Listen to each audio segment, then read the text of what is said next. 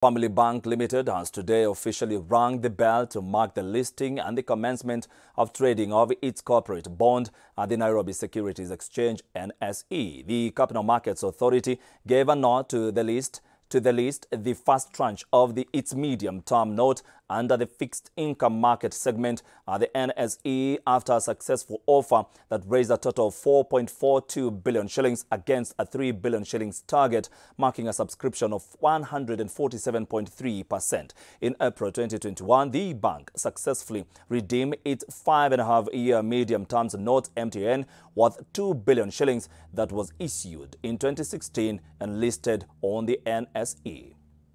what we did in the nation and what we are doing today at the Family Bank. So this basically is a good story of resilience which has been captured by consistent growth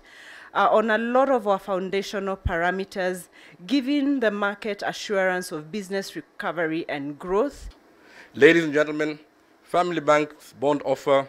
raised Kenya shillings 4.42 billion, a subscription rate of 147.3 percent against the 3 billion shilling target, which is wonderful.